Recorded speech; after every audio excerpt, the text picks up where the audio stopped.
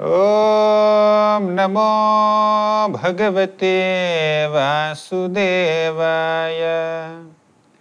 ॐ नमो भगवते वासुदेवाय। ॐ नमो भगवते वासुदेवाय। Hare Krishna. Welcome to our Bhagavata Pravaha online course on the 10th canto of Srimad Bhagavatam. So far, in the last four episodes, we have completed the first 14 chapters of the 10th canto. We completed up to the Brahma Vimohana Leela. And today we will begin the 15th chapter.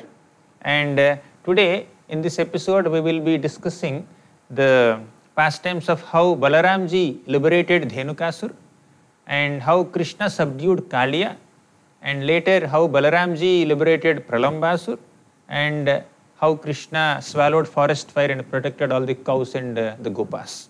So we will discuss these four pastimes today.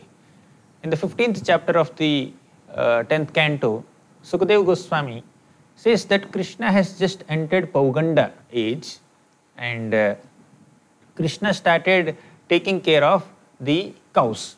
So far, he has been taking care of calves and now he has he's little grown up now he entered Pauganda age means 5 to 10 age and then Krishna uh, began tending cows. So Krishna, Balaram and all the gopas along with their cows they started entering Vrindavan forest.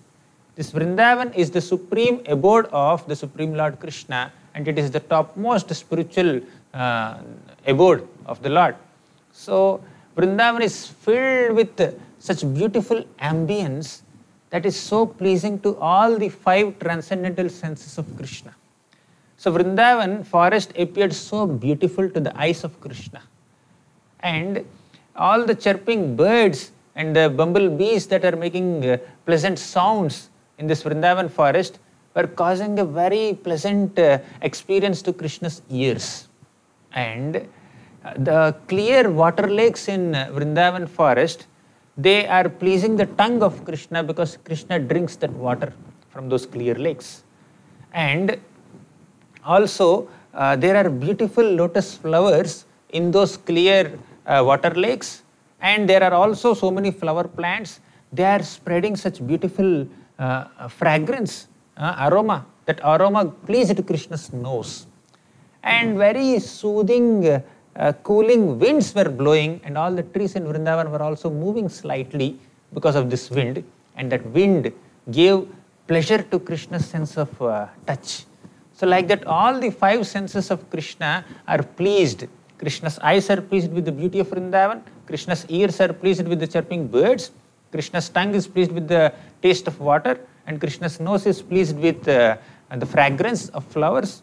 And Krishna's sense of touch is pleased with uh, the wind that is blowing, that, that cool breeze. So in this way, the transcendental abode of Vrindavan uh, is gives the ultimate pleasure to the Supreme Lord Krishna. And Krishna, because he was so enchanted by this experience, he began to speak to his elder brother Balaram. He says, My dear brother Balaram, see how these trees are bowing down to your feet, and see these bees they are making sounds like this and then they are chanting your glories, my dear Balaram. And the peacocks are dancing and glancing at you and the cuckoos are making pleasant sounds and the sounds are actually their prayers offered to you. And uh, this whole earth is so fortunate by your touch and even Lakshmi also, uh, also desires that touch. So in this way Krishna started glorifying Balaram. Actually Krishna cannot glorify himself so entire Vrindavan ambience is for Krishna's pleasure and Balaramji is like a supporting hero. Krishna is the main hero in all the pastimes of Vrindavan and Balaramji uh, accompanies Krishna and supports Krishna in his pastimes. So here Krishna is glorifying Balaramji. So then Balaramji, Krishna and all the other gopas would tend their cows and then they would enter the forest and they will go on the banks of Yamuna river. And they start imitating so many animals. They, uh, they also make sounds like the bumblebees. They sing in ecstasy. And they also start making sounds like parrots. And they start, uh, uh, start making sounds like cuckoos uh, or swans. and they start dancing like peacocks. Sometimes Krishna would dance like a peacock, and Krishna would say, See, this peacock does not know how to dance. I can outsmart these peacocks in dancing. And with a deep voice, they call out the names of their cows, uh, and uh, the cows would come. And Krishna is so affectionate towards the cows. When Krishna calls out the name of one cow, then there are so many hundreds and thousands of cows with Krishna, and each cow would hear her own name. That's how Krishna uh, starts calling the cows. So, actually, the supreme opulence of Krishna is exhibited in Vrindavan when Krishna wants to please his devotees. Yes, Krishna has uh, unlimited incarnations and he has unlimited powers, energies with which he creates this universe, maintains this universe, destroys this universe, and uh, uh, Krishna is the owner, creator, uh, maintainer, and proprietor, enjoyer of everything that is in the entire universe. And Krishna uh, comes as very many incarnations, and Krishna also kills so many demons. In this, all these activities, Krishna exhibits a lot of his powers. But the power that Krishna exhibits to reciprocate with his devotees is the supreme power. So, the greatest manifestation of Krishna's opulence and power is in his attempt to please his devotees. So, yesterday we discussed how Krishna was sitting in the center of so many concentric circles of the Gopas, and each and every Gopa is seeing Krishna right in front of him.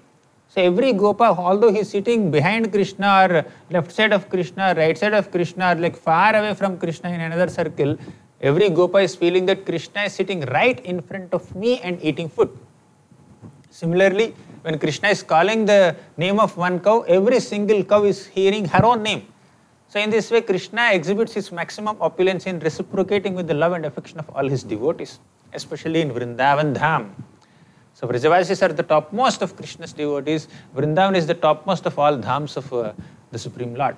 And all these boys, they would imitate the sounds of birds, uh, chakora bird, chakravaka bird, peacocks, etc.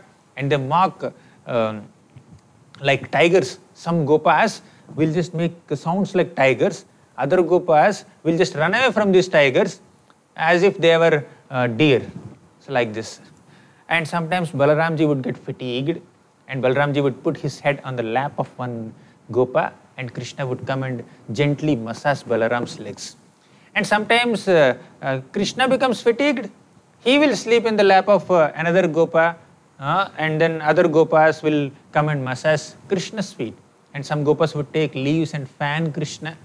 Uh, some Gopas would start singing pleasant songs. Some people will play some instruments uh, and others will uh, uh, will will engage themselves in multiple activities for the pleasure of Krishna. So in this way, Krishna concealed all his majesty and grandeur and enjoying just like a village cowhead boy. So just suitable to the village ambience. So Krishna relishes all the pastimes with Vrajavasis who do not consider him God.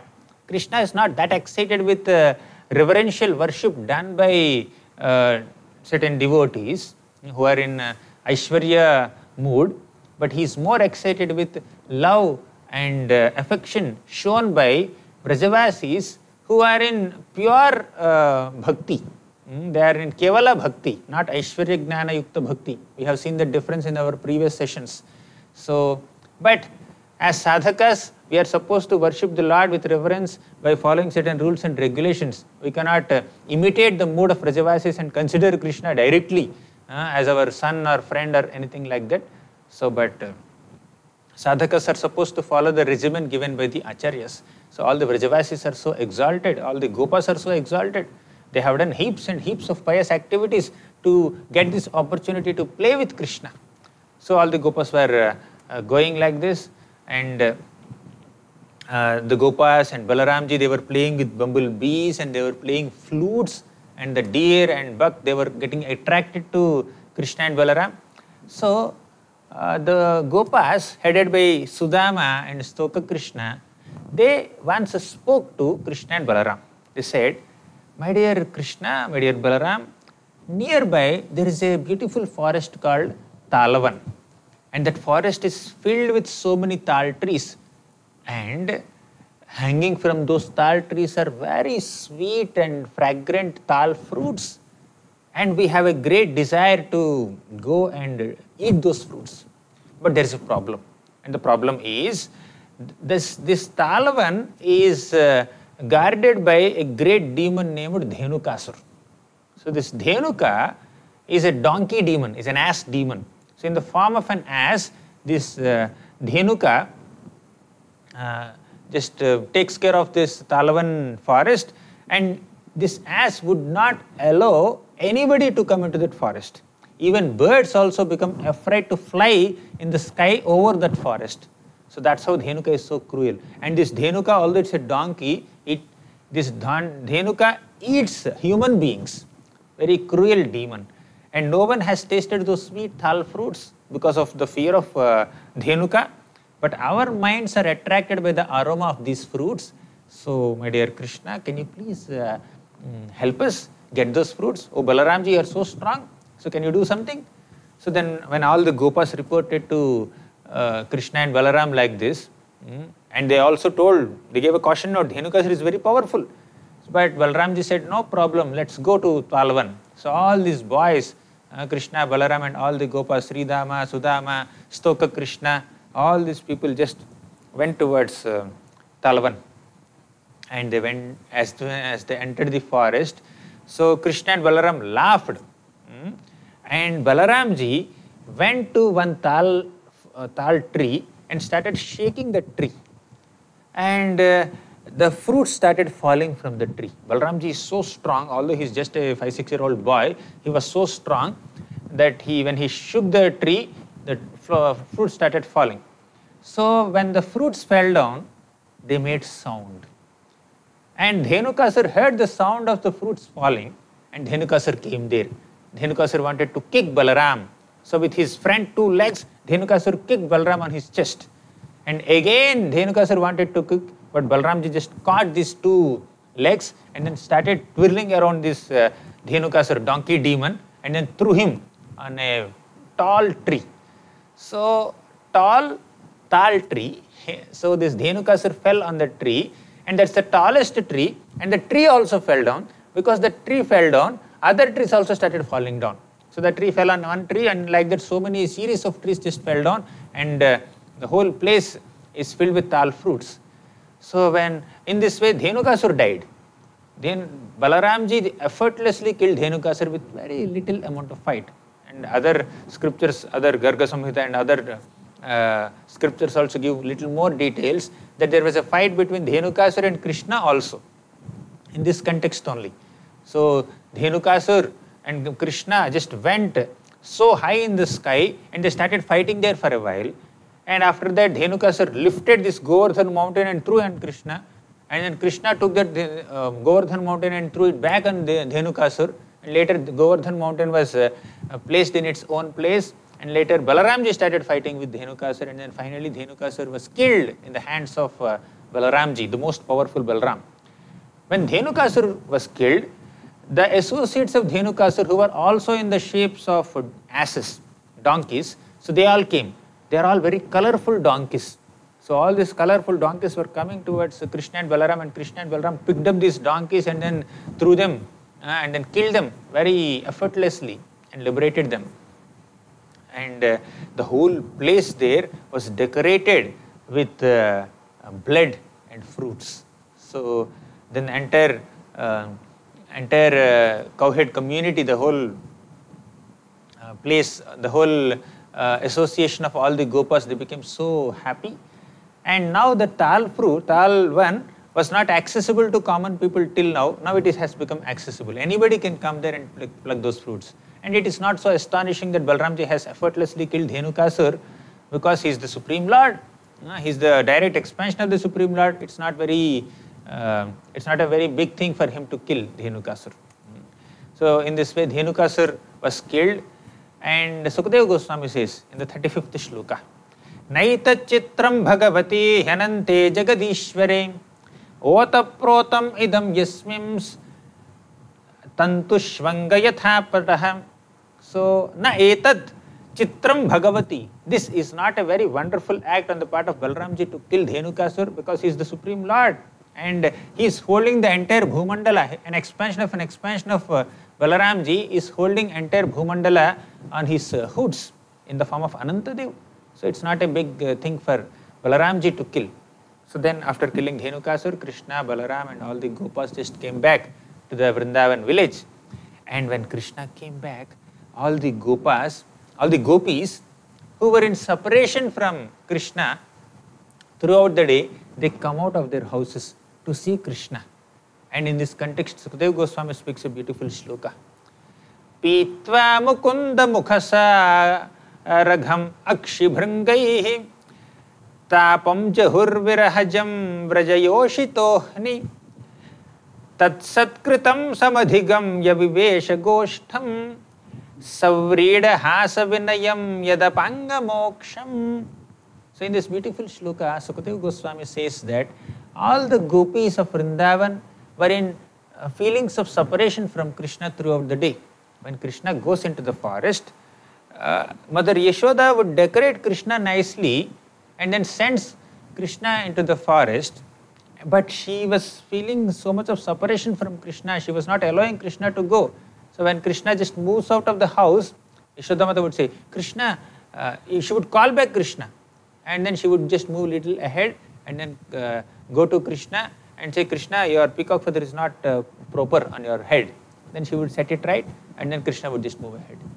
And again Mother Yashoda would call, Krishna, Krishna, your waist belt is not tied properly. Again she would set it right and then Krishna would just move ahead. And again for some reason, uh, Mother Yashoda will just call him, Krishna, did you pack your lunch? Uh, did you uh, take that special sweet that I had made for you? Then Krishna would just stay back and then, as Mataji, as mother, I have taken. So like that, uh, Mother Yashoda just almost follows Krishna for some distance and Krishna would say, Mother Yashoda, are you coming with me to the forest or what? Please go back. So then Yashoda would just go back. So all the gopis who were staying back in the village, they are in separation from Krishna, both the Madhurya gopis and Vatsalya gopis. But throughout the day, all the gopas would get the association of Krishna.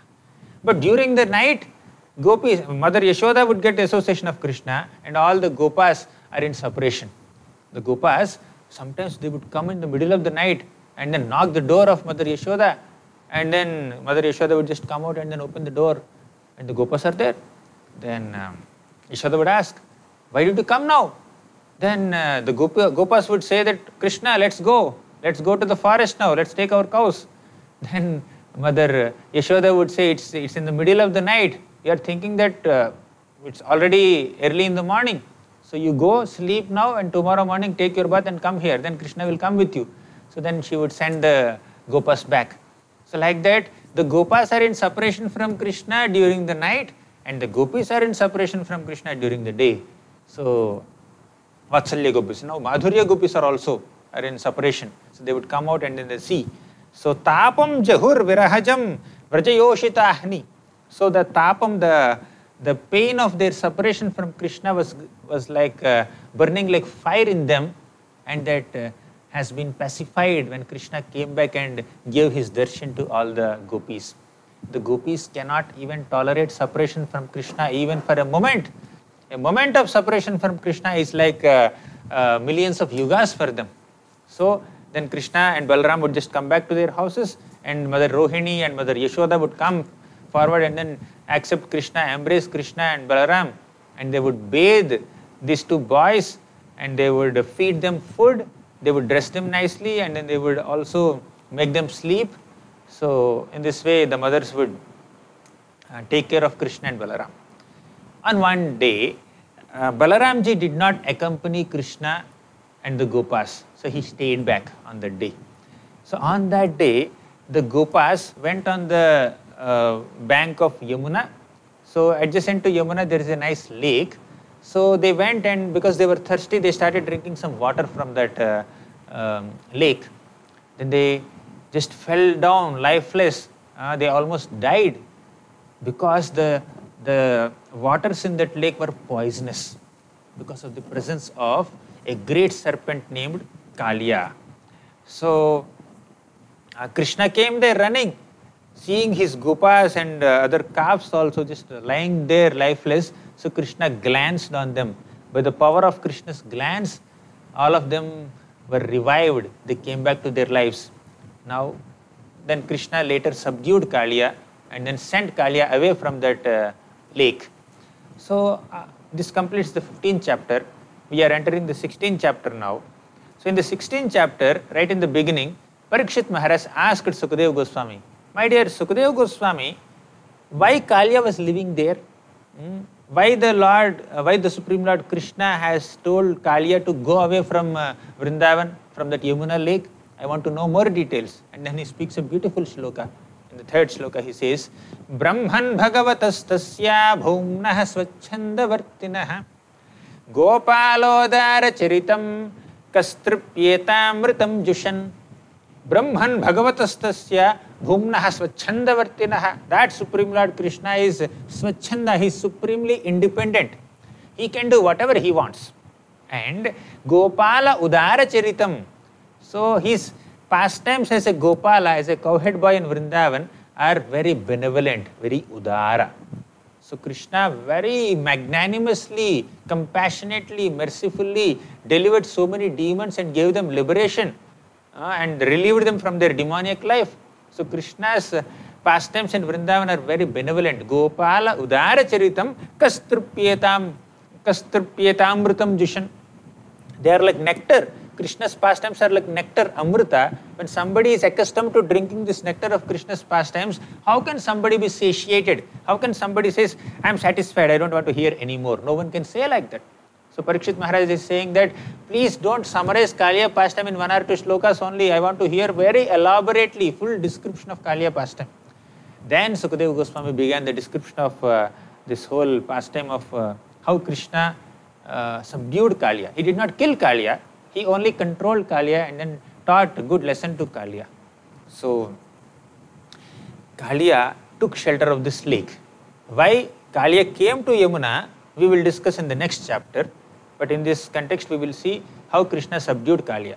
So, Kaliya uh, came to this uh, uh, lake near Yamuna river and because Kaliya is very poisonous snake and it has thousands of hoods, there are thousand prominent hoods of Kaliya and he has more hoods. So uh, it's a very poisonous snake. So it has, Kaliya has poisoned all the waters of Kaliya. So uh, Kaliya has uh, poisoned the waters of that lake and uh, even the vegetation and some trees and animals around that lake, they just breathe the poisonous air that comes from that lake and then they would die. That's the power of uh, Kaliya's poison. And even birds that are flying above that lake also would die because of the fumes of uh, poison. The, the waters were actually boiling with poison. So then Krishna wanted to teach a lesson to Kaliya. So Krishna climbed a Kadamba tree. And from the top of that Kadamba tree, Krishna jumped into this uh, lake. Why did that Kadamba tree exist there? if all the vegetation and the grasses and other plants were died, they, they died because of the poison of uh, how could this Kadamba tree stay alive? So it is said that when Garuda was carrying the nectar pot, a drop of nectar fell on that Kadamba tree and uh, that's why uh, that Kadamba tree did not die. So Krishna climbed that Kadamba tree and from top of Kadamba tree, Krishna just jumped into this Kaliya lake and uh, Krishna started swimming so uh, sweetly so Krishna would splash waters. Nothing will happen to Krishna, although that is that water is fuming with poison, boiling. Nothing would happen to Krishna, and Krishna is very happily swimming. And uh, with every movement of his hand, Krishna is splashing water so much just to agitate Kaliya. And Kaliya came out. Who came into my abode? Who came into my arena? So this is my place. So Kaliya just became so agitated and it came out, uh, Kaliya, he came out and Kaliya has seen this beautiful childish form of Gopal, Krishna. Sukadeva Goswami describes this in the ninth shloka. तं प्रेक्षणीयसुकुमारघनावदातं श्रीवत्सपीतवसनं स्मितसुन्दरास्यं क्रीडन्तमप्रतिभयं कमलोदराङ्घ्रिं। सन्दस्य मर्मसुरुषा भुजया च प्रेक्षणीय तं प्रेक्षणीयसुकुमारघनावदातं so प्रेक्षणीय means that which is worth seeing Sukumar very delicate ghanavadatam so that supreme lord krishna's beautiful face was so delicate was so charming and his body is of the complexion of ghana means clouds dark monsoon cloud tam prekshaniya sukumara ghanavadatam and srivatsa pita vasanam smita sundarasyam srivatsa pita he has srivatsa mark on his chest pita pita vasanam means he has a yellow dhoti a yellow dress and smita sundarasyam his beautiful face is decorated with a very pleasing sweet smile and Kridantam Apratibhayam Kamalodarangharim. Kridantam, Krishna is playing there in that waters. Apratibhayam, he has absolutely no fear of any enemy. Kamalodarangharim. So Udara, Krishna's belly, Krishna's navel is uh, lotus. And uh, Krishna's feet are also like lotus. So he has lotus feet and he has lotus navel. Kamalodarangharim. And uh, Sandasya Marmashurusa Bhujaya Chachada. The first three lines of this shloka were describing such enchanting beauty of Krishna as he was swimming in this Kaliya lake. But the last line uh, describes the response of Kaliya. Kaliya became so envious of Krishna. Kaliya became so angry with Krishna. How could this boy come to my arena and fearlessly swim in my waters? So Kaliya started biting Krishna, just uh, throwing her poison on Krishna. So that's the response of Kaliya. So when then Kaliya did not only uh, bite Krishna, Kaliya started coiling Krishna with her coils. Kaliya just arrested Krishna's body. Krishna is just hardly a six-year-old boy, and then Kaliya with his coils just uh, tightly arrested Krishna within her, within his coils. Then uh, there were so many inauspicious omens in Vrindavan, very bad omens, and people started feeling that uh, they started feeling some bad omens within their body, within their minds also, within the climate also, within the nature also. So, as soon as Krishna was arrested by Kaliya, all the Vrajavasis could sense, although they were so far away, so some boys were there, they were standing on the lake of uh, this Kaliya and they were watching what's happening to Krishna in the lake. But the Vrajavasis who were inside the village, who did not enter the forest, they also could get some signals. They also could some, get some messages. They started seeing some bad omens. They thought that Krishna must be in danger. Whenever we feel certain inauspicious omens uh, or some bad uh, uh, physical or um, climatic uh, signals, we feel that something inauspicious is going to happen to us. But all the Vrajavasis unanimously thought that Krishna must be in some danger today. Because Krishna went to the forest without Balaram today. So he must have encountered some danger. All the Vrajavasis naturally uh, feel concerned about Krishna whenever there is some calamity. So we are seeing so many natural disturbances in Vrindavan, that means Krishna must be in danger. So all the Vrajavasis came to this Kaliya lake. How did they know that Krishna is in uh, uh, this Kaliya lake? Because Krishna would walk barefoot in Vrindavan and his lotus footprints the footprints of uh, Krishna's divine lotus feet would not be disturbed by anybody in Vrindavan. No monkey or no gopa or gopi or cow or calf or parrot or peacock or uh, squirrel or any living being in the entire Vrindavan would not disturb Krishna's uh, uh, lotus footprints and they are the real ornaments of Vrindavan Dham. Even the gopis of Vrindavan also say in Venu Gita, Vrindavanam sakhi bhuvo vitanoti kirtim yaddevaki sutapadam bujalabdha lakshmi. Means Vrindavan Dham is uh, marked with the lotus footprints of Krishna, auspicious footprints of Krishna. Those footprints are mm, the Krishna's feet are marked with some special symbols like elephant god, We discussed in the third canto. Sanchintayet bhagavatascharanarvindam vajrankusadhvajasaroruhalanchanadhyam. So vajra, a thunderbolt, ankusha, elephant god; dhvaja, flag, saruruha, lotus. These are all the auspicious marks on Krishna's uh, lotus feet. When Krishna walks on the land of Vrindavan, his footprints also contain all these auspicious marks. They're shining, they're so brilliant. So nobody would disturb those uh, footprints. So all the Vrajavasis followed the footprints of Krishna and reached this Kaliya lake.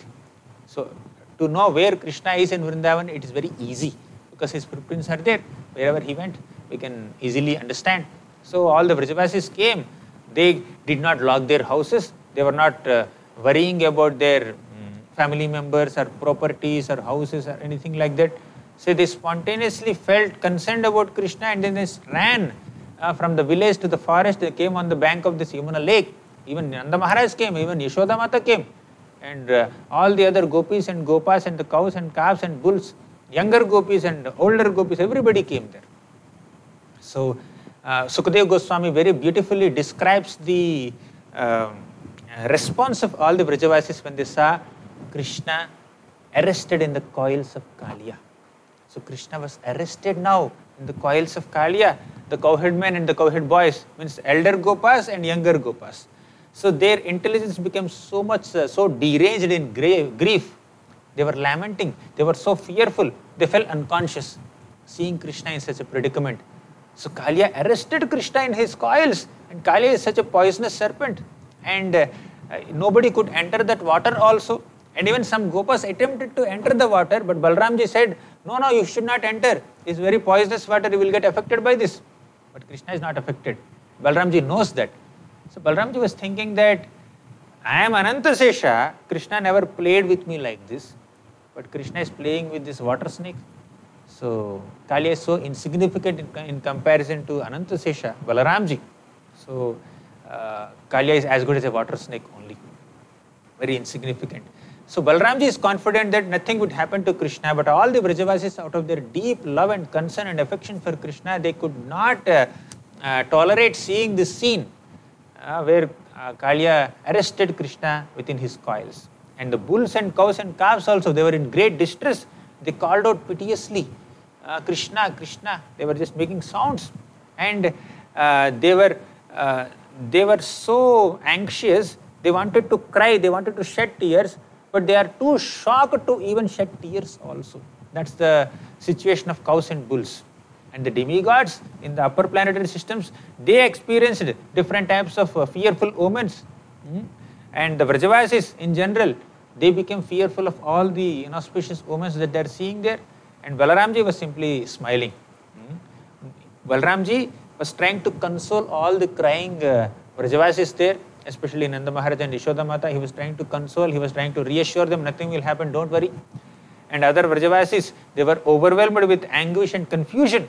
And the gopis remembered uh, the friendship of Krishna, his intimate talks, and his uh, pleasant smiles, and his sweet activities. They were remembering, they were feeling separation from Krishna, although they are right in front of Krishna. And all the elderly gopis, they became like uh, dead bodies, they were like corpses they were trying to hold Mother Yashoda because Yashoda was trying to enter the lake out of her separation from Krishna. But the elder gopis uh, just held her back and they were all distressed. They were recounting the pastimes of Krishna in distress. Whenever we are in distress, if you remember Krishna's pastimes, we can uh, withstand that uh, calamity. And Krishna now uh, just he was arrested by Kaliya and Krishna waited for one muhurta. For 48 minutes, Kaliya arrested Krishna in his uh, coils. And uh, Krishna purposefully uh, like uh, allowed Kaliya to bind him because uh, Vrajavasis were in deep anxiety. In such an anxious state, the Vrajavasis were feeling intense love and affection and separation from Krishna. And Krishna is experiencing their love and separation. Krishna is tasting their, their intensified love and separation. And uh, generally, all the Vrajavasis are always having complete love for Krishna, but in the midst of such calamities, their love increases hundred times, millions of times.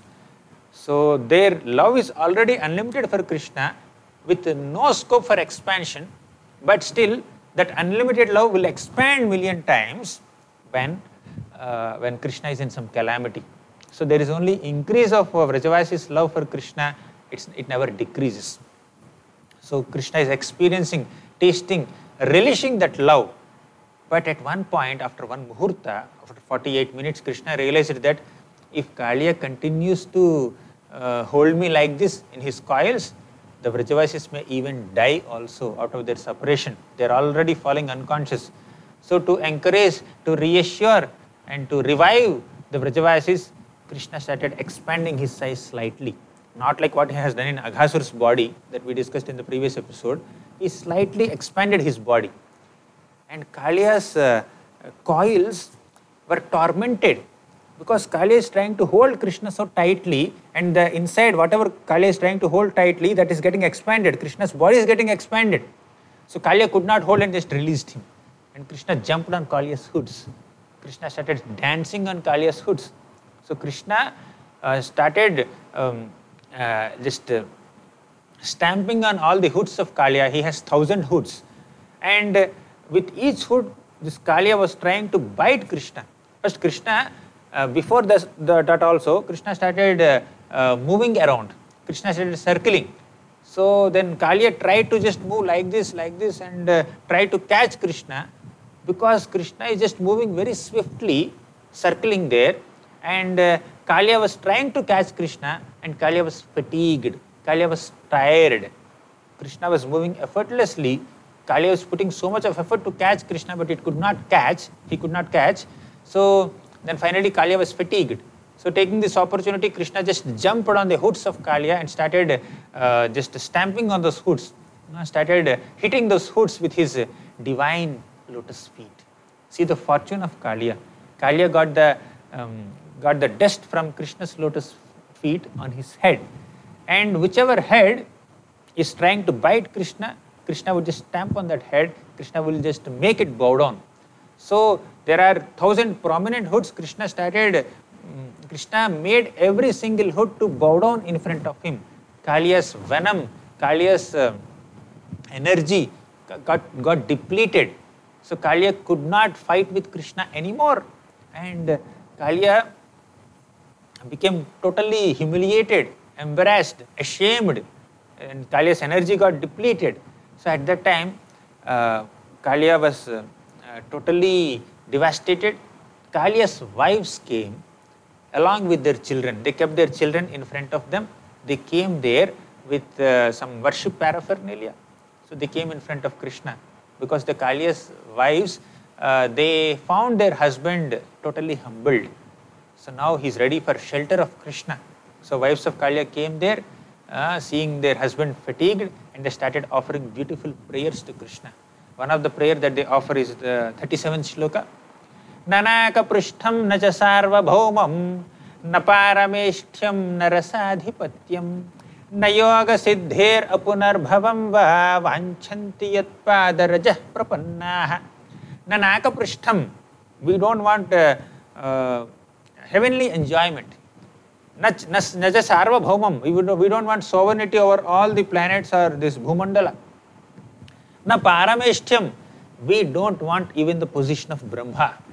Na rasadhipatyam, we don't want uh, the adhipatya or some authority uh, in the lower planets also, like rasatala, talatala, patala, etc. So, the, the wives of Kaliya rejected any kind of exalted or material position in the, all the three planetary systems. Right? Na yoga siddhir, we don't want even mystic siddhis also. Apunar bhavamba, we don't want even liberation also. And vanchanti yat pada rajah prapannaha, we don't we want only the dust from your lotus feet. Prapannaha, we are surrendered unto your lotus feet. So Kaliya's wives, although Kaliya was a very envious serpent, Kaliya's wives were great devotees of Krishna. So they could understand that Krishna is the Supreme Lord. They were often reverential prayers and they expressed their uh, deep desire for Krishna's divine uh, lotus feet and they rejected any kind of uh, material benediction in the three planetary systems. And then they started speaking to Krishna. My dear Krishna, you have punished our husband and it is perfectly justified because your punishment is for the ultimate benefit of the serpent only. So by punishing him, You only uh, caused a great benefit to him. Now that his uh, poison is gone, his envy and anger are also gone. So now you have purified him of these uh, negative qualities. So what austerities did he perform? To get this opportunity to have your lotus footprints on his hoods, you have practically stamped on each and every head of Kaliya. Kaliya has thousands of hoods. Krishna marked Kaliya's hoods with his divine uh, lotus footprints. Mm, so Kaliya is so uh, fortunate and this the dust from your lotus feet is the greatest aspiration for all the Dasya Bhaktas, all the devotees who are in the emotion of uh, being servants of Krishna, they aspire for the dust from Krishna's lotus feet. And Kaliya received it profusely without intending to receive it. So Krishna gave such a great mercy to Kaliya. Just like Krishna gave the position of a motherly nurse in the spiritual world to Putana, and Krishna gave Swarupya Mukti to Aghasur. Krishna is giving the mercy of his divine lotus feet to Kaliya now. So Krishna is merciful even to the demons also in the in Vrindavan Dham. Prabhupada writes in one uh, purport of Srimad Bhagavatam that in the spiritual world, Krishna is merciful only to the devotees. But in this material world, Krishna is merciful to the devotees and the demons also. That's why Krishna shows extra mercy uh, in his manifest pastimes. That too in Vrindavan Dham, he is more merciful. He is merciful to even such heinous demons who come to kill him and all the Brajavasis also. So then they offered obeisances to the Lord in various ways and they glorified Krishna in various ways. And then finally, Kaliya started offering his prayers to uh, Krishna. Kaliya said, Oh Krishna, I am a snake and I am naturally very angry and envious and poisonous. So physically, I have a lot of poison with my, within my body. Mentally, I have a lot of envy and anger within my mind. So uh, our species is like this. Modeta sadhurapi vrischika sarpa hatya. Prahlad says in his prayers that when a snake or a scorpion is killed, then even sadhus uh, or devotees or renunciants also take pleasure in that, their death. Because this snake and scorpion are so poisonous and envious and angry that they unnecessarily bite other people. So uh, even uh, saintly people also rejoice the death of uh, snakes. So Kaliya said that by birth I am envious. I am born in such a uh, species, low species. So by nature I am angry because of uh, your own Maya. Your Maya has totally overpowered me and I am very angry and envious. So please arrange for whatever you think is auspicious uh, for me, my dear Lord. Then Krishna told this Kaliya, Oh Kaliya, so you should not remain in Vrindavan anymore. So you should go back to the ocean immediately. Actually, all the serpents who are the uh, sons of uh, Kadru, they stay in an island called Ramanakadvipa in the middle of the ocean. So Kaliya used to stay there, but this Kaliya came to this uh, um, lake in Yamuna river.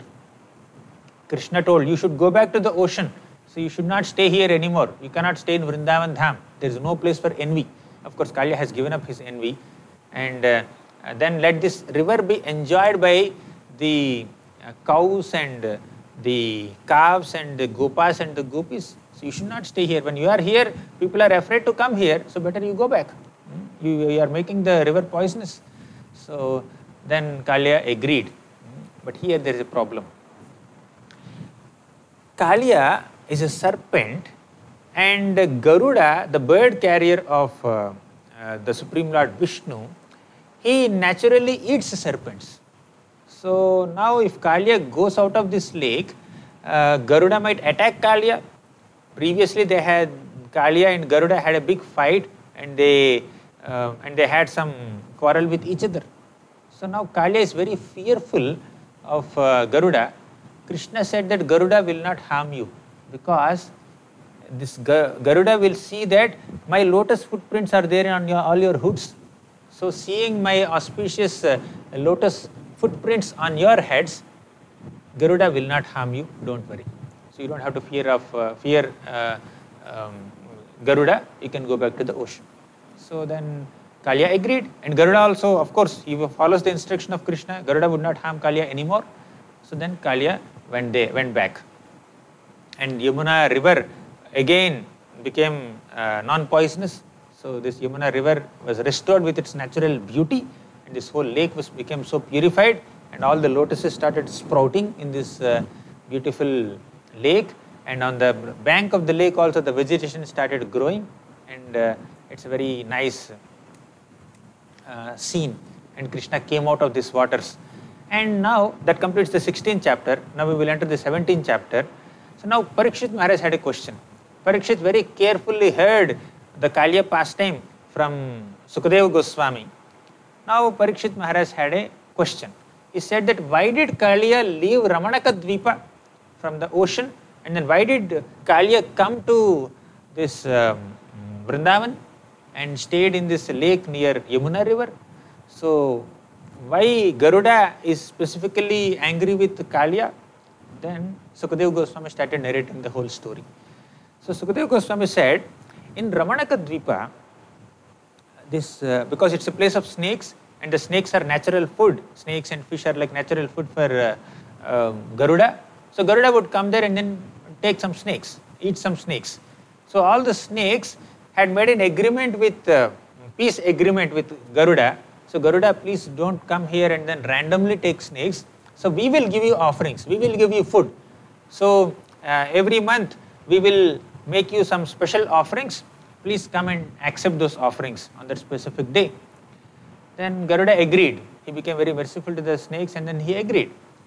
Uh, but uh, Kaliya, Kaliya started taking the offerings of Garuda uh, Kalya would not offer anything to Garuda. Kalya would even accept the offerings of Garuda also. He would eat the offerings. So then Garuda became very angry. Why are you taking my offerings? Then uh, Garuda started fighting with Kalya and Kalya also started biting uh, Garuda. So then Garuda flapped his left wing and then threw Kalya and then Kalya became so fearful of Garuda. There was a big fight between Kalya and Garuda. Garuda is Vinata Suta. He is the son of Vinata and uh, Garuda and Kalya sorry, Garuda was Vinata Suta, he is the son of Vinata, and uh, Kalya was the son of Kadru. So they started fighting with uh, each other. So then, out of fear of uh, Garuda, Kalya came to this Yamuna lake. Why Kalya came to this Yamuna lake in Vrindavan Dham? Because Garuda cannot come there. There is another story connected to that. So Garuda's um, food is fish also. So Garuda would come to this Yamuna lake and take the fish. But once Saubhari Muni, who was doing tapasya under the waters of this Yamuna river, he became very compassionate to the fishes and he cursed Garuda. Garuda, if you come to eat fish again here, then you will die. So Saubhari cursed Garuda. Garuda is such an exalted Vaishnava. He is the bird carrier of Lord Vishnu. So not knowing that Garuda is a very superior Vaishnava, uh, this uh, Saubhari Rishi cursed him. And Saubhari Rishi even uh, uh, deprived Garuda of his food also. So fish are the natural food for Garuda. So it's by the perfect arrangement of the Lord, one, one living entity would depend on his sustenance for another on another living entity. So it's natural for Garuda to eat fish. So who is Saubhari Rishi to intrude into this natural enjoyment of uh, uh, Garuda. So, but he arrogantly cursed Garuda out of his concern or compassion for fish. We discussed this story in the ninth canto of Srimad Bhagavatam also. And because of uh, this Saubhari Rishi's offense to Garuda, Saubhari eventually fell down because of that very fish on whom he was so compassionate. So Garuda was compassionate on fish and because of that misplaced compassion, Garuda, I'm sorry, uh, Saubhari was compassionate on fish and uh, uh, out of that compassion on fish, Saubhari Rishi cursed uh, Garuda also and because of that very fish, Saubhari Rishi fell down from his position. So he saw two fish mating with each other and Saubhari Muni, he became desirous of entering household life. He came out of that waters. He went to the king of Mathura, Mandhata, and he married the 50 daughters of uh, uh, this Mandhata. So like that Saubhari Rishi was deviated from his renunciation because of his offense to Garuda.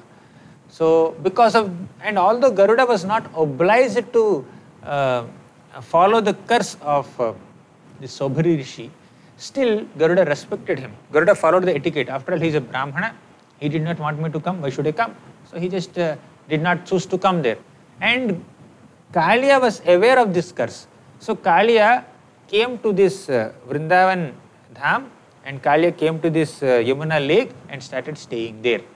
And Kaliya started doing his uh, nefarious activities inside this lake and tormented uh, the Vrajavasis.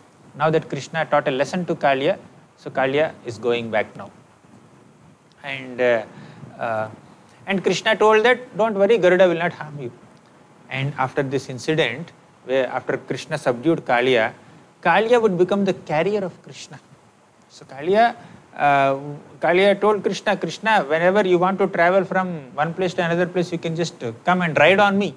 Just like Garuda carries uh, the Supreme Lord Krishna, Kaliya also carries Supreme Lord Krishna. You can go to some South Indian temples also, you can see Krishna riding on uh. Very, there are very nice uh, stone carvings also. Now Krishna came out of the waters and all the Brajavasis became so happy. Uh, they were so, um, they were very much rejoicing the victory of Krishna. So the this uh, Gopas came and embraced Krishna. Nanda Maharaj and Yashoda Mata embraced Krishna uh, and they were so uh, happy that Krishna safely came out of this Kaliya lake. And uh, Nanda Maharaj started giving charity to Brahmanas and Yashoda Mata had torrents of tears from her eyes. She repeatedly embraced Krishna and all the Vrajavasis, they, their hearts were filled with so much of love for Krishna because they saw Krishna in calamity. They were worrying about Krishna and they also saw Krishna uh, dancing on the hoods of Kaliya so beautifully. So all the hearts of all the Vrajavasis were charmed seeing Krishna's dancing. And when Krishna came out of that calamity, the love and affection of all the Vrajavasis increased unlimitedly for Krishna. So when Krishna came out, nobody was in a mood to go back to their homes. So they all they all wanted to stay with Krishna only. Now if we go back to homes, we have to go to our homes and Krishna will go to his home and we will again be in separation from Krishna. Not a single Vrajavasi wanted to go back to home. So in some emergency, they left the homes unlocked. Uh, they did not even lock their houses, they just came there, came to Kaliya Lake. But uh, now that the calamity is over, they can go back, but they did not go back. So they wanted to stay there only. All the Vrajavasis, entire cowhead community wanted to stay that night on the banks of this river Yamuna. So they started sleeping there only. So during their sleep, because of the summer heat, there was a great forest fire. So uh, then all the Vrajavasis got up. They were tormented by this forest fire. They started taking shelter of Krishna. They said, Krishna Krishna Mahabhaga He Rama Mita Vikrama Yesha Ghoratamo Bahnihi Tavakan Grasate Hinaha Oh Krishna, Mahabhaga, extremely fortunate Krishna, oh greatly powerful Balaram, this forest fire is overwhelming us, hmm, it's attacking us. So please do something to protect us. And they said, Sudus, सुदुस्तरान्नहस्वान् पाहि, कालाग्नेः सुहृदः प्रभो न शक्नुमस्त्वच्चरणं, सन्त्यक्तुम् अकुतो भयं सो अकुतो भयं we टे we have taken shelter of your lotus feet and whoever has taken your shelter will be completely freed from all disturbances and calamities O Krishna O Balaram please protect us then Krishna could not tolerate the pain of uh, all these Vrajavasis. So he immediately swallowed the forest fire. So as if it were some water or it was some drink, so Krishna just swallowed the forest fire and protected all the Vrajavasis. And again, Vrajavasis were protected from, by Krishna from another calamity and their love and affection for Krishna increased. And that completes the 17th chapter. Now we will enter the 18th chapter. In the 18th chapter, we will see that uh, Balaramji has liberated one demon named Pralambasura. So, uh, this is summertime in Vrindavan, and uh, uh, Krishna, Balaram, and all the Vrajavasis and all the Gopas, along with their cows, entered the forest of Vrindavan.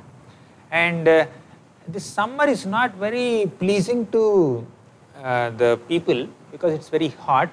But in Vrindavan, even summer is also pleasing, winter is also pleasing, monsoon is also pleasing.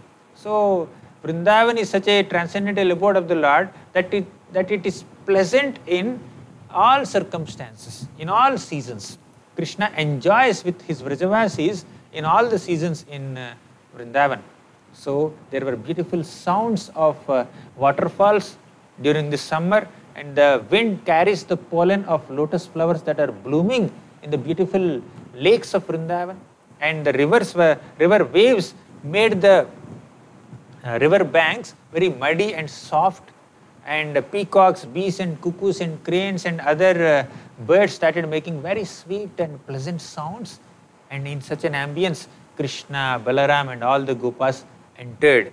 And all the mothers of uh, uh, the Gopas decorated them so nicely in beautiful dresses and ornaments and uh, turbans and uh, flowers.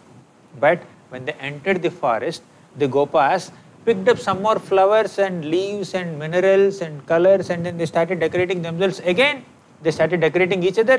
They would decorate Krishna also and they would play by whirling about and leaping and hurling and slapping and pulling hair and they start fighting with each other. They sometimes do wrestling uh, and sometimes Krishna is defeated in the wrestling match uh, in the hands of uh, his Gopa friends and Krishna would dance and other Gopas would sing and some people will may will play musical instruments. And even the demigods also come to Vrindavan Dham in the disguise of cowhead boys. And they worshipped Krishna like that. So in this way Krishna was uh, playing such wonderful uh, games with all the gopas. And they would play with the bilva uh, leaves and uh, kumbha and amalaki fruits and they would imitate the sounds of animals and birds as we discussed before also and they would play various jokes and they would ride on swings. The swing means they just uh, mm, take a creeper which is very strong uh, and are the, are the roots of banyan tree and they would just hang. They, in this way they would very nicely uh, swing on swings and they would imitate monarchs. They play like kings and then subjects and they would play like that. So one day Krishna, Balaram and all the Gopas were playing and uh, when they were playing, a demon named Pralambasur came there in the form of a cowhead boy. This Pralambasur was a servant of uh, King Kamsa. So this Pralambasur came and joined these cowhead boys and Krishna noticed this Pralambasur. Krishna, Krishna understood that this Pralamba is not a Gopa, he is a demon in the disguise of a Gopa. And Krishna told Balramji also, see Balram, so this is not a Gopa, he is a demon. Anyways, let's continue our play. So Krishna said that, oh Gopas, let us all play together. So we will have a game now. We will play in two teams. So one team was led by Krishna, another team was led by Balaram. So uh, the condition in this game is whoever wins uh, can climb on the shoulder of the losers and the person who lost the game, he has to carry uh, the winner uh, on his back uh, wherever the Gopa wants. So like that they played. So Pralambasur joined Krishna's party and the game continued and uh, in that game Krishna's team lost. Balramji's team won, team won. So all the Gopas in Krishna's team will have to carry the Gopas in Balaramji's team. So Balramji is so powerful so Krishna, Krishna carried Sudama, uh, Sridama and other Gopas carried different other Gopas but uh, nobody was ready to carry Balramji. So this Pralambasur who was in the team of Krishna, he volunteered to carry Balaram. So he carried Balaram. Actually Pralambasur first wanted to kill Balram because Balramji is a great support for Krishna and also Pralambasur thought that Krishna is invincible. He has killed so many demons. So probably if I attack Balram first, then later I can attack Krishna. So Pralambasur thought that uh, let me first kill Balaram. So Pralambasur started carrying Balaram and Balramji just, uh, he was playing the role of an innocent boy and he was being carried by Pralamba and Pralambasur went way beyond the spot he took away Balaram to very uh, far away place and uh, Balaram just started increasing his weight just to play with uh, uh, this uh, Pralambasur. And Pralambasur uh, could not tolerate that and Pralambasur started manifesting his original form. And uh, Balramji externally manifested some kind of little fear seeing this huge demoniac form of Pralambasur. So he just wanted to maintain the mood of that pastime. And Balram also was hesitating to kill Pralambasur slightly because this Pralamba took the form of a Gopa and uh, he joined Krishna's team. How can I kill somebody who is on the side of Krishna? Even during the play also, so Balramji had a slight, slight hesitation. But anyways, he's a demon, he has to be killed. Balramji has to kill. And Balram also had some concern that now that this demon is attacking me, probably some other demon is attacking Krishna there simultaneously. So Balramji became very worried about this. Nevertheless, let me just kill this Pralambasur first and then immediately go back to Krishna. So Balramji just slapped this uh, Pralambasur uh, and Balramji struck on Pralambasur's head with his fist with his powerful, strong fist. And uh, Pralamba started vomiting blood and he fell down dead. So then all the Gopas saw this and then they were astonished. And they, uh, they said, Oh, Balram, you are so powerful, excellent, excellent. They just praised Balram. Balram. So that completes the 18th chapter of the 10th canto. Now we will enter the 19th chapter. The 19th chapter describes another beautiful incident where Krishna swallowed forest fire. This is second time. After subduing Kaliya, during that night, Krishna swallowed forest fire once to protect all the Vrajavasis, entire cowhead community. Now this is another pastime where Krishna again swallows forest fire. So one day, Krishna and Balaram and all the Gopas along with their cows went into the forest as usual. And all the cows uh, and Krishna and other Gopas were playing there and they were also keeping an eye on the cows. But the cows uh, went somehow deep into the dense forest. It is during summer. So they went deep into the forest and they entered a, a forest which is uh, called Munjara forest. So in that forest there were so many canes, uh, very tall uh, canes were there, uh, bamboos. So because of that summer heat, so these uh, canes started rubbing with each other and there was a huge forest fire. Entire forest was uh, set on fire and these uh, innocent cows were caught up within that fire and they started making sounds, moving uh, so, so much in pain. They wanted Krishna to come and protect them.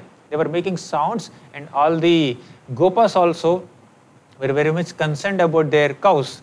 So they started searching for the cows and they eventually came to this Munjara forest and they saw the cows in the midst of forest fire and the Gopa started crying. They were so anxious, oh, what will happen to our cows?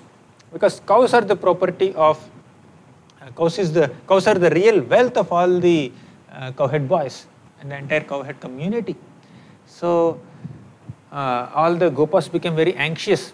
They told Krishna, Krishna, can you please protect us? Then Krishna told, my dear Gopas, can you please close your eyes? And all the gopas closed their eyes.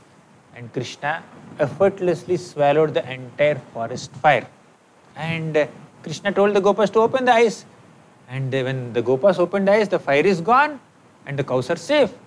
And the gopas felt so excited. Oh, this Krishna must be a very special devata. Hmm? So he swallowed forest fire so effortlessly within a moment. So Krishna must be a great demigod then immediately the Gopas thought that if Krishna is a demigod, we are also demigods because we are Krishna's friends. So out of their innocence, although Krishna exhibits his majesty, grandeur and uh, his powers and opulences right in front of their eyes also, the Gopas will never consider Krishna to be the supreme personality of Godhead out of their deep love and affection, pure love and affection, they only consider Krishna to be their friend in their Sakhya affection, Sakhya rasa. So Balaramji has all three rasas. Balaramji serves Krishna in Dasya Bhava. Balaramji is like a uh, elder brother of Krishna and he serves Krishna in Vatsalya Bhava. And Balramji also serves Krishna in Sakhya Bhava like a friend. So Balramji is into all three rasas. So, and uh, Balramji is the supreme servant. So all the uh, sakhas, friends of Krishna, always consider Krishna their friend only. They don't get into any reverential mood, although Krishna performs uh, such miraculous deeds. And, uh, and Krishna, Balaram, and all the gopas and the cows went back to the village safely and all the gopis again were anxiously waiting for Krishna to return and relieve them of their feelings of separation. And Krishna gave darshan to all these gopis and Krishna entered his house. So that concludes this uh, 19th chapter. So tomorrow we will begin the 20th chapter, the monsoon in Vrindavan. So today we discussed how Balaramji killed Dhenukasur and Pralambasur and how Krishna subdued Kaliya and swallowed forest fire twice.